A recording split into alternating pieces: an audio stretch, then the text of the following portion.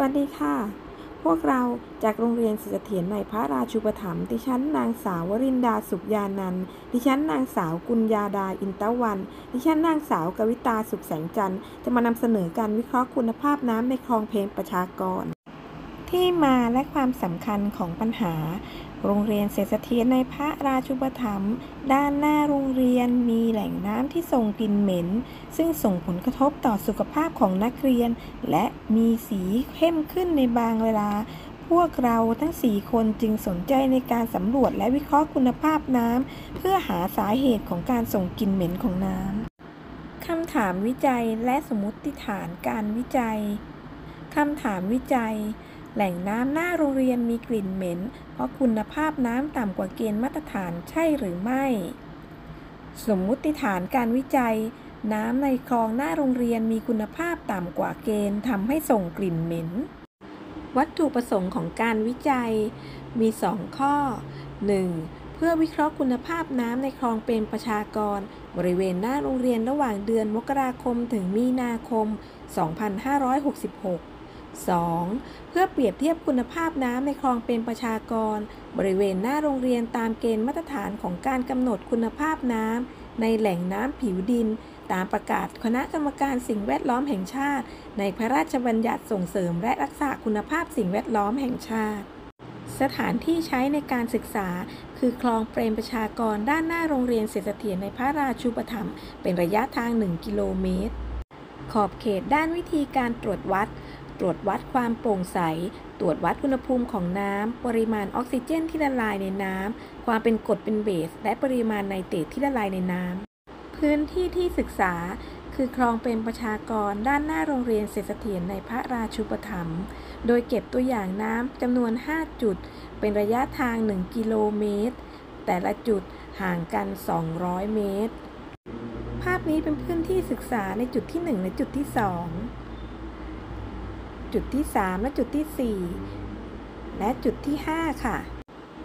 วัสดุอุปกรณ์ 1. เทอร์โมมิเตอร์แบบแท่งแก้ว 2. หลอดความโปร่งใสของน้ำ 3. ชุดทดสอบปริมาณออกซิเจนที่ละลายในน้ำ 4. pH meter 5. ชุดทดสอบปริมาณไนเตรตที่ละลายในน้ำ ขวดเก็บตัวอย่าง เทปวัดสนาม บีเกอร์ หลอดหยดสาร ปากกาและแบบบันทึกผลการตรวจวัด ขั้นตอนที่ใช้ในการวิจัย ขั้นเตรียมการวิจัย ขั้นดำเนินการวิจัย วิเคราะห์ข้อมูลและสรุปผล จัดทำเอกสารรายงานผลการวิจัย ขั้นเตรียมการวิจัย 1. สังเกตและกำหนดปัญหา 2. สืบค้นเอกสารและตั้งสมมุติฐาน 3. กำหนดพื้นที่ที่จะทำการศึกษา 4. วางแผนที่จุดศึกษา 5. จัดตารางการจัดเก็บข้อมูลในพื้นที่ศึกษา ขั้นตอนดำเนินการวิจัย โดยเราจะจัดเตรียมอุปกรณ์ที่ใช้ในการวิจัย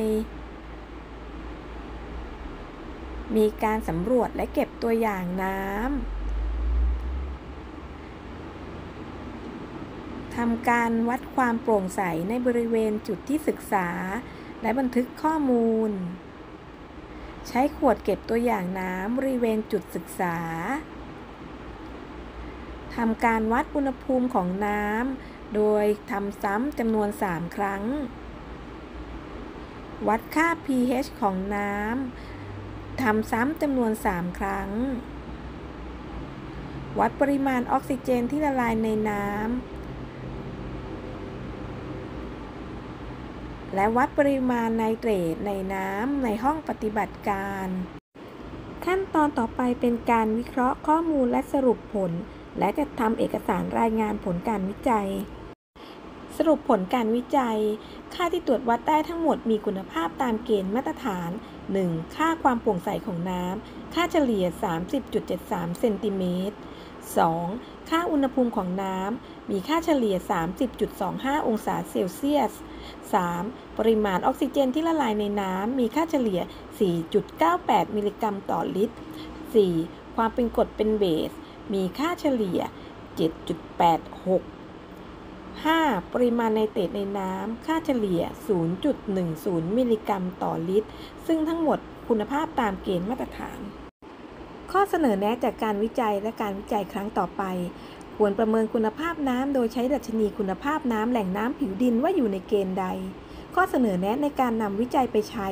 จากการกำหนดสมมติฐานว่าน้ำในคลองหน้าโรงเรียนส่งกลิ่นเหม็น เพราะคุณภาพน้ำต่ำกว่าเกณฑ์มาตรฐาน แต่เมื่อทำการตรวจวัดแล้ว น้ำมีคุณภาพตามเกณฑ์มาตรฐาน ควรหาสาเหตุอื่นร่วม เช่น ช่วงเวลาหรือดูการใด